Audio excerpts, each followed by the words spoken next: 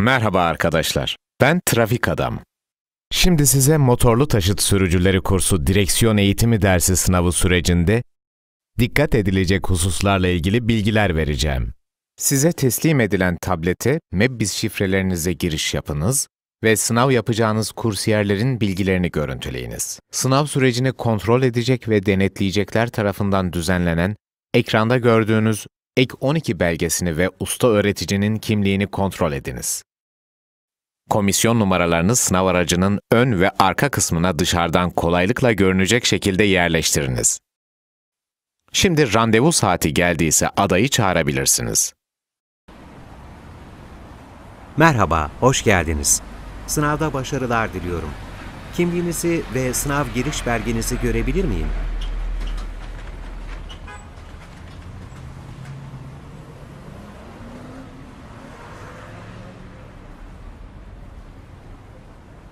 Değerli komisyon başkanı, adayın kimlik, sınav giriş belgesi ve direksiyon sınavı takip formundaki fotoğrafını adayla karşılaştırınız. Adayın tabletle vesikalık olacak şekilde fotoğrafını çekiniz ve tablette yüklü olan fotoğrafla karşılaştırınız. Daha sonra K belgesini kontrol ederek imzalayınız. K belgesinin adayın geçici ehliyeti olduğunu ve bu belgenin geçerlilik süresinin düzenlendiği tarihten itibaren 6 ay olduğunu unutmayınız. Artık sınavı başlatabilirsiniz.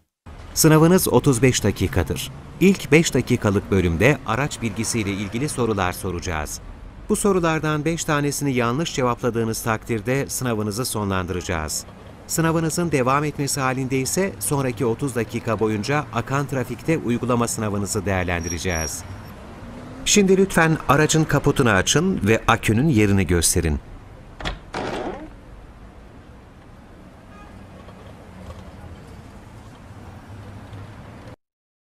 Bunun gibi diğer 13 tane soruyu da başkan kursiyere sorar.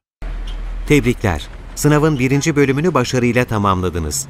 Şimdi ise akan trafikteki performansınızı değerlendireceğiz.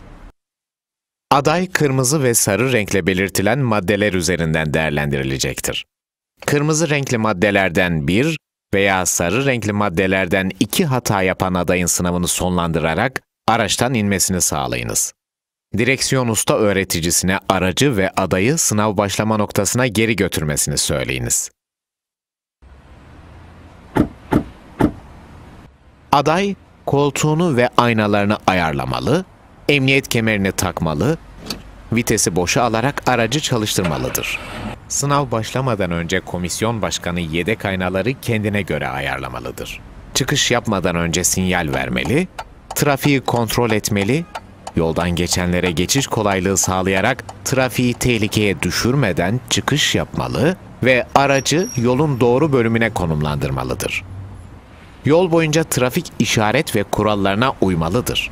Aracı sağa sola savurmadan ve şerit çizgisini takip ederek direksiyon hakimiyetini sağlamalı ve takip mesafesini korumalıdır.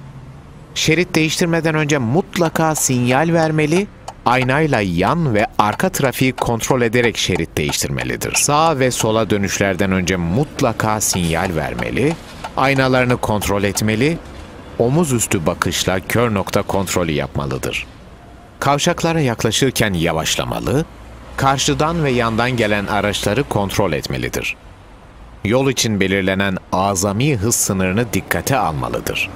Gerektiği kadar hızlanabilmeli ve vitesleri kullanabilmelidir yaya ve okul geçitlerinden geçen ya da geçmek üzere olan yayalara yol vermeli, geçiş üstünlüğüne sahip olan araçlarla karşılaşması durumunda geçişlerine izin vermelidir.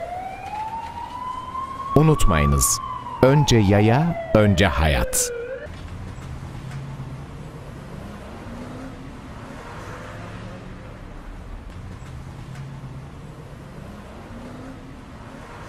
Aday 25 metre geri giderken aracı şerit çizgileri içerisinde gezdirmemelidir. Aracı çizgilerin dışına çıkarmadan arkadaki trafiği kontrol ederek güvenli bir şekilde geri gidebilmelidir.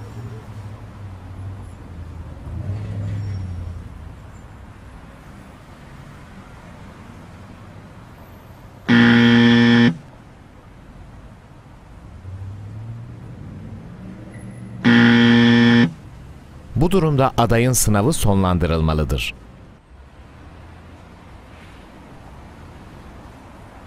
L manevra alanına gelindiğinde direksiyon usta öğreticisi ve komisyon üyesi gözlem yapmak üzere araçtan iner. Bu alanda aday belirlenen yerde geri gidebilmeli ve 90 derecelik açıyla dönerek L manevra yapabilmelidir. Aday geri giderken konilere ya da kaldırıma çarpmamalıdır. Aksi takdirde sınavı sonlandırılmalıdır.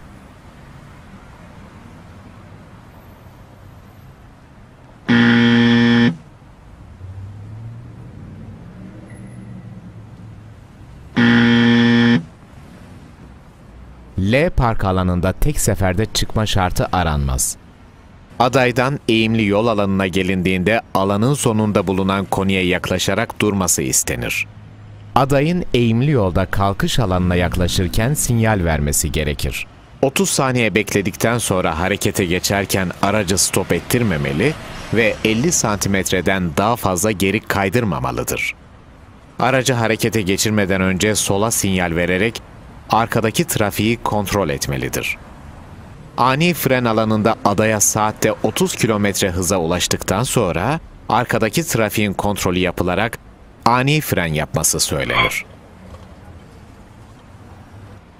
Geri geri park etme alanında park etmek için durdurulduğunda direksiyon usta öğreticisi ve komisyon üyesi hiçbir müdahalede bulunmadan gözlem yapmak üzere araçtan iner. Aday park yerine geri geri tek hamlede gidebilmeli ve içeride en fazla iki hamle yaparak aracı kaldırımdan en çok 50 santimetre uzağa park edebilmelidir. Park alanına tek hamlede girememesi, kaldırma ya da konilere çarpması, 50 santimetreden uzağa park etmesi ve tekerlerin çizginin dışına çıkması halinde aday başarısız olur. Aday park alanından çıkarken birden çok hamle yapabilir. Sınav başlama noktasında tamamlanır. Sınavı tamamlanan aday durmadan önce sağa sinyal vermeli, sağ şeritte kaldırıma uygun mesafeye yaklaşarak durmalıdır. Aracı terk etmeden önce el frenini çekmeli, motoru stop ettirdikten sonra aynalarla trafiği kontrol ederek araçtan inmelidir. Aday sınav güzergahının dışına çıkması durumunda başarısız sayılarak sınav sonlandırılır. Sınav tamamlandıktan sonra kursiyerin sınav sonucunu tabletle internet bulunan bir ortamda merkeze gönderiniz. Bu sonuçları değerlendirdiğiniz her adaydan sonra gönderebileceğiniz gibi sınav bitiminde toplu olarak da gönderebilirsiniz.